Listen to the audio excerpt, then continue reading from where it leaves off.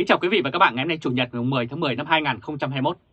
Kính mời các bạn xem bản tin Trở về với máu, nước mắt và buồn tủi. Cho đến hôm nay, từ khi cơn đại hồng thủy bùng phát mạnh ở Sài Gòn, đó là đại dịch Covid-19, và một số tỉnh phía Nam, người ta ước tính có khoảng gần 1 triệu người đã rời bỏ Sài Gòn, Bình Dương, Đồng Nai, Long An. Để trở về quê, họ từ Cao Bằng, Lạng Sơn cho đến Bạc Liêu, Cà Mau. Nghĩa là từ muôn phương tụ lại rồi lại quay đầu về cố hương trong cơn đại dịch này.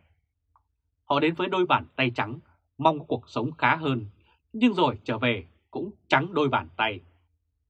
Có người đã đến hơn một chục năm lấy vợ, sinh con đẻ cái ở đất này, nhưng cũng có người vừa đến chưa đầy đôi ba tháng.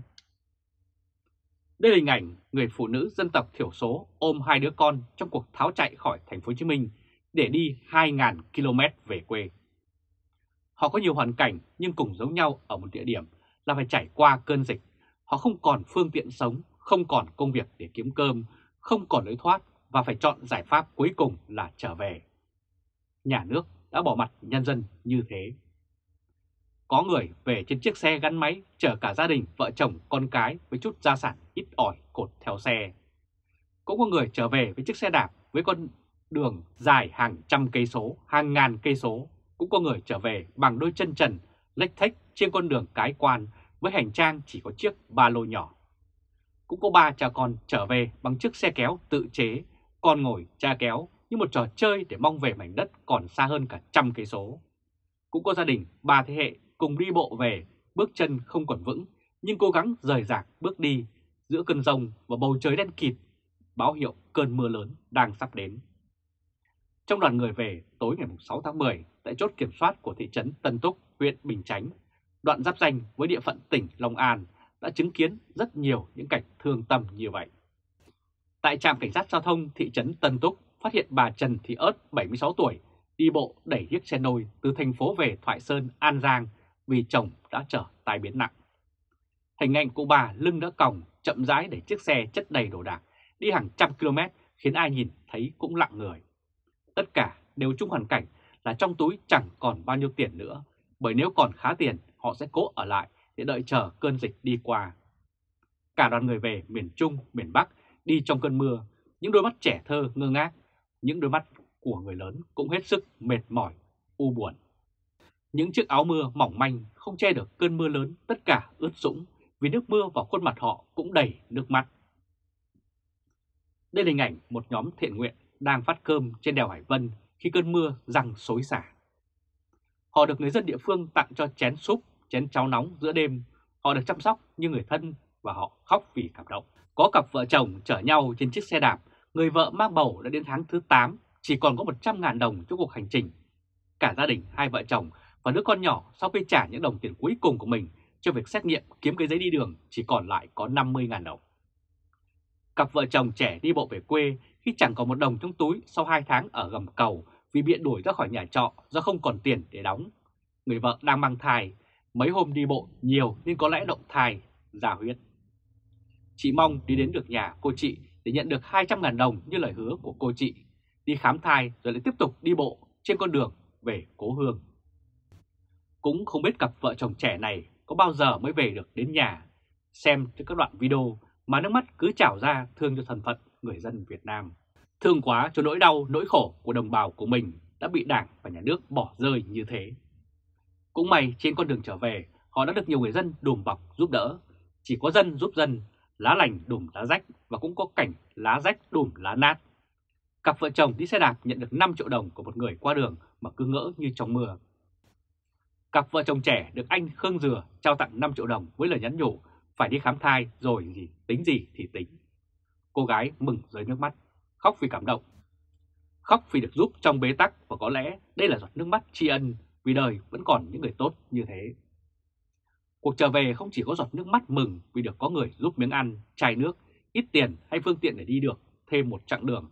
Đây là hình ảnh chiếc xe lịch sử còn nằm lại trên đèo Hải Vân của một gia đình bị hỏng bánh sau không thể sửa được. Chiếc xe này đã được các nhà thiện nguyện ở Đà Nẵng mua lại với giá không đồng và họ đã bán lại cho gia đình, gia đình anh chiếc xe mới tinh chưa có biển số cũng với giá không đồng.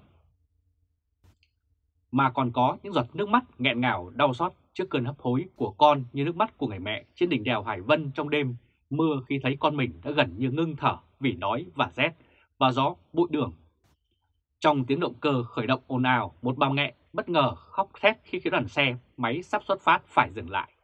Đứa trẻ đã ngất xỉu trong lớp áo mưa, bà mẹ trẻ bồng con sơ sinh lao thẳng về phía các tình nguyện viên cầu cứu. Nhanh chóng biến đứa nhỏ khỏi phòng tay mẹ, một tình nguyện viên cũng là y tá của bệnh viện ôm đứa nhỏ chạy vào một quán nước trên đỉnh kè đèo.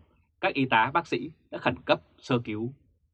Qua kiểm tra, nhóm tình nguyện nhận định cháu bé ngất xỉu do tụt đường huyết vì quá đói và mệt sau chặng đường rất dài. Người mẹ quê ở tỉnh Nghệ An khóc kể lại rằng trên đường đi cháu bé nôn ói không ăn được gì. Khi đến đỉnh đèo Hải Vân thì hết nôn ói, chị mở áo mưa ra xem thì đứa bé đã lim đi. Theo tường thuật của báo Thanh niên, tiếng kêu cứu con tôi với, đầy nước mắt vang lên trong cảnh nhộn nhạo của một cuộc di tản chứa nỗi tuyệt vọng và bi thương của dân tộc. Cũng may đứa bé được cứu sống kịp thời, nếu không cuộc trở về sẽ là cơn ác mộng mãi mãi trong lòng người mẹ trẻ. Nhưng cũng có những người phải chết trước khi về được đến ngôi nhà và làng xóm thân yêu của mình. Hai mẹ con đã chết vì bị tai nạn giao thông khi vừa đến Quảng Nam. Đây là hình ảnh chiều ngày 8 tháng 10, một người đi từ miền Nam về quê trốn dịch đã tử vong vì tai nạn giao thông ở Quảng Nam. Trước đó vào hôm 4 tháng 10, cũng có hai mẹ con đi xe máy về quê cũng tử vong vì tai nạn giao thông tại Quảng Nam. Một cặp vợ chồng bị xe cán khi đến ranh giới quê nhà. Người chồng chết ngay dưới bánh xe tải và người vợ đang thập tử nhất sinh trong bệnh viện. Và còn nhiều trường hợp rất đau lòng nữa, dù phải dừng lại giữa đường, không được về với quê hương Cuộc trở về không chỉ có nước mắt mà còn có cả máu, có cả sinh mạng của những con người này. Nỗi đau này ai là người phải chịu trách nhiệm nếu đủ điều kiện ở lại chắc chắn họ sẽ không làm một cuộc phiêu lưu đầy rông bão để trở về và chắc chắn họ cũng không phải chết. Vượt bao nhiêu khó khăn để trở về quê có người phải bỏ mình trên con đường về nhưng buồn thay họ lại bị lãnh đạo quê nhà từ chối tiếp nhận. Ngay từ đầu khi có dịch ở trên thế giới chính phủ đã thực hiện nhiều chuyến bay để chở những người con xa xứ ở châu Âu, ở Nhật Bản, ở Ấn Độ trở về Việt Nam. Thế sao những người lao động nghèo ở trong nước lại không được trở về quê như họ mong ước? Đây là câu hỏi đặt ra cho Đảng Cộng sản Việt Nam cũng như chính phủ ở Ba Đình. Họ bị rào kém gai, chốt chặn lại, họ rớt nước mắt trong mưa, họ hò hét đến khản cổ, họ thắp nhang quỷ lạy giữa đại lộ. Rồi họ được về nhưng lãnh đạo địa phương không muốn nhận họ lo giữ cái ghế của mình hơn là lo cho nỗi đau của đồng bào trong bản thân tỉnh của họ. Đây là hình ảnh vào hôm 7 tháng 10 khi dòng người về quê đã giảm hẳn thì ông Thủ tướng Việt Nam Phạm Minh Chính mới phát đi công điện yêu cầu các tỉnh thành đón người dân về quê. Điều này đã trở nên quá muộn màng. Những người trở về không chỉ có nước mắt, máu mà còn có buồn tủi. Buồn vì họ trở thành kẻ xa lạ trên quê nhà của mình. Tủi vì họ không được chấp nhận khi người anh không nhận đứa em trong cơn quy khốn của mình trở về thì là bất nghĩa. Khi lãnh đạo không nhận đồng bào của mình trong lúc khó khăn thì gọi là bất nhân. Làm lãnh đạo, làm con người mà bất nhân, bất nghĩa thì làm sao tạo được lòng tin đây? Lãnh đạo bất nhân, bất lực, bất tài chỉ khiến cho người dân ngày càng khổ cực. Và cứ như thế, hàng trăm triệu người dân từ Bắc đến Nam phang đang phải chịu đựng nỗi khổ này. Dân buồn, dân tủi vì lãnh đạo quê nhà từ chối họ, họ trở thành người lạ, ngay trên chính quê hương của mình. Trở về vì không còn chút gì trong tay để sống, đây là hoàn cảnh của những người dân cả nước hiện nay.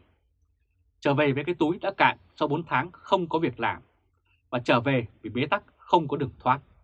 Thế mà lãnh đạo địa phương đó là những đảng viên cấp cao của Đảng Cộng sản Việt Nam bắt phải trả tiền cho những xét nghiệm, trả phí, cách ly một ngày từ 80.000 đồng tiền ăn và 40.000 đồng chi phí khác. Tiền đâu mà dân có thể đóng? Các ông đang nghĩ gì vậy? Nếu còn tiền họ đâu nghĩ đến chuyện trở về để làm phiền các ông. Các ông tàn nhẫn quá, bóp cổ, vét hết túi tiền của người dân chăng, xét theo luật, xét nghiệm và chữa trị cho người nhiễm virus là miễn phí, sao công lại tính chuyện bóp cổ dân nghèo giữa lúc cuộc sống của họ đã trở nên quá bế tắc. Bòn rút đến nước ấy thì rất tệ. Những cuộc trở về với máu và nước mắt buồn tủi như thế vẫn đang diễn ra hàng ngày trên đất nước Việt Nam bao giờ mới chấm dứt được những cuộc di tản đau buồn đó và biết đến bao giờ người dân nghèo mới bớt khổ đau. Thương quá, đồng bào ơi! Quý vị và các bạn vừa theo dõi chương trình truyền hình trực tiếp của Lê Trung Khoa, Thời báo chấm ngày hôm nay, Chủ nhật ngày 10 tháng 10 năm 2021 với bản tin Trở về với máu, nước mắt và buồn tủi. Quý vị và các bạn hãy chia sẻ video này cho nhiều người biết và bấm nút theo dõi YouTube và Facebook của Thời báo chấm để luôn được cập nhật những bản tin mới nhất, nhanh nhất và trung thực nhất. Từ Berlin, Cộng hòa Liên bang Đức, chào các bạn và hẹn gặp lại các bạn vào bản tin lần tới. Trung Khoa Thời báo.de